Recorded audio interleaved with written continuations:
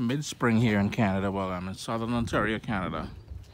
Um, it hasn't been a kind spring so far, but this little video here is a little 101 on gardening, setting up the garden. And one of the things I want to talk about first of all is planning your garden. And there's several things to planning the garden. For instance, here we had a dead space before with a bunch of gravel and stuff like that there, but we removed it. Well, most of it I used to backfill down the back down to level off back there.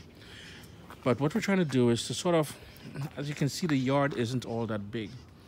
We need some green space, a little space there for my fire and stuff like that, a little dining area for when I grill and do stuff like that. But we're trying to maximize the amount of space we can use for gardening. So the place that was unused here, it's now going to be used for gardening. And if you're doing container gardening, that's a great way if you don't have too much space. You can see I have some containers here. And I usually have more of them. This is a big cherry tree. The stump that you're seeing there, that used to be a pear tree. But I replaced it with a cherry tree. And all I'm doing now, at this point, is sort of digging up the dirt, um, removing any sort of weeds and stuff like that. And um, backfilling it with some triple mix. And the triple mix is sort of going to revitalize the soil because year after year, you got to start back putting back resources into the soil.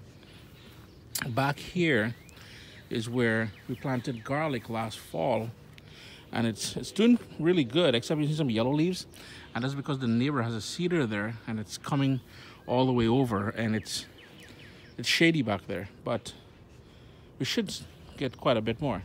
And that is the second tip. So maximize the use of space that you have when planning your garden. And the second tip is plan the garden in such a way that you're maximizing the areas where there's full sun versus part shade. And what I mean is when you're choosing plants to plant, choose plants. So if you have a shady area, we didn't really think this out all the way through, but um, if you have a shady area, you'll want to choose plants for that specific area, something that doesn't need full sun. Over here, this entire thing here gets all day sun. So I keep having to clear my throat because my allergies have been acting up this year quite a bit. And then planting the garden, I let my little retreat area. If you guys recall, last year I had one chair. We made it bigger and we have a second chair with a footstool now. Back here is usually where I do my herb garden. And that is, again, in planning, what I did was I tried to separate things. So I know when I'm, I'm cooking and I want my herbs, I can come straight down here and grab my herbs. So in planning, we looked at uh, maximizing the space, choosing the right plants, um, specifically if there's shade and stuff like that, and try your best to put plants which will go together, um, sort of um, grow in harmony. So my herbs are going to be here I can't remember where I stopped off there. I started coughing and I had to stop recording. But one of the other things I forgot to mention, I like, this is going to be all vegetable garden all the way down, but I like breaking it up with some flowers. So in early spring, you'll see tulips come up. Then I have some other like uh, lamb's ear. I've got a lily over there. We've got um, some hostas, some peony over there. And, and it's going to have some color in between the vegetables as well. We've got a a clematis that climbs the fence over there. And then you can see the window box there. I usually plant flowers there. More window boxes and stuff like that. And I have all my plants here. And what I usually do is I make a list of the plants that I would like to plant. I plant of my garden in such a way. So we've got, I think, eight different varieties of peppers in there. We've got some Malabar spinach, um, a couple tomatoes, some um, some carrots.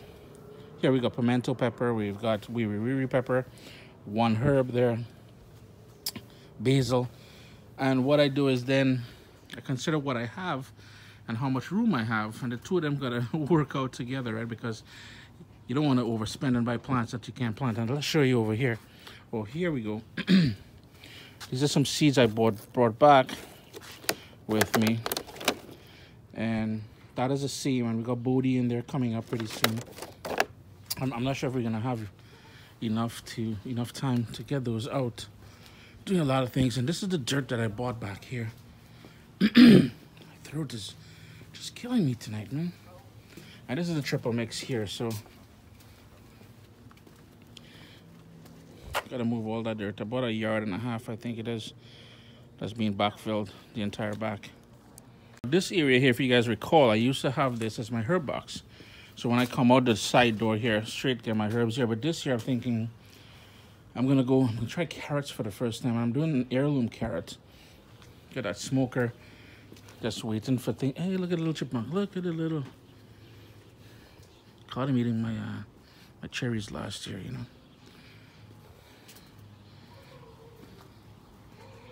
You've also got to consider, so we got sunlight. We spoke about sunlight revitalizing the dirt. And um, I don't use any chemicals at all. I don't use any fertilizers. I don't any sort of uh, pesticides and stuff like that. But you want to make sure you've got good drainage. Make sure your soil is drained properly. The far corner there, it isn't drained properly. And that's why you're seeing the yellow leaves on the garlic. But it's one of those things. The other thing I would recommend doing is doing a pH test of your so of your soil as well too. So you'll know how acidic it is and if you need to to add anything to it to help balance off the um, acidity.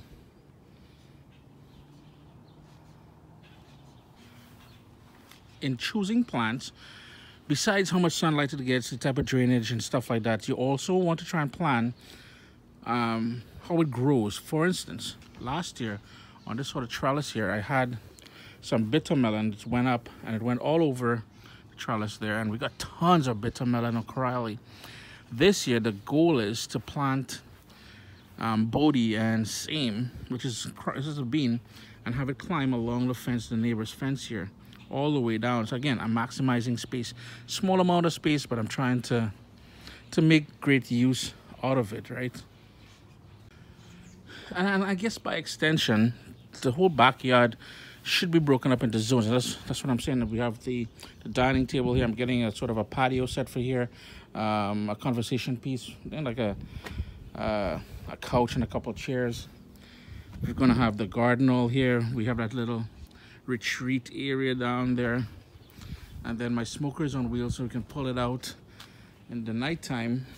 Grab a couple chairs we light a fire like a wood burning fire in this stove here and you can i actually cook on here as well too but it warms you up nice on those cool nights when it's about 15 9 10 degrees celsius. Zones. I'm big on zones as well too. And i guess the final tip is when you're planting plant things that you will always have something coming in. So in early spring you may have strawberries and have strawberry plants here. This is some shado beni i just planted. Um, so you always have something to reap in in the in the garden. The other thing i would recommend so you can start off with greens like lettuces and stuff like that. That usually comes in early. And then you have like the the sweet potato and everything which um, comes in late. You have tomatoes and every cucumber and everything that comes in after. Same with flowers. Always wanted like a little bit of color in here. I didn't have time this year to put in i took out all the um, the tulips which was in this garden here because what usually what I do, I have tulips all the way up. And um, by the time it comes around time to plant vegetables, they're already gone. So then I, am able to plant vegetables. But this year, um, last fall I was busy. I was traveling quite a bit, so I didn't have time to put in any tulips. And that's just some seeds from a few years ago when I first planted that uh, we didn't dig out properly.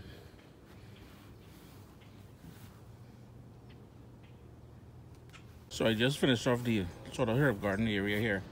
So we got that basil I put in. I've got some lemongrass, some uh, rosemary, parsley, oreg oregano, and thyme that came back last year. But I just want to finish to finish off part one of this video by saying you also want to check which zone that you're in because only certain plants can survive in certain zones and if you live in North America or Europe you will know what I'm talking about in the Caribbean we don't necessarily have zones but it depends on how soon winter comes in, frost, all those different things. So you may want to check your zone as well.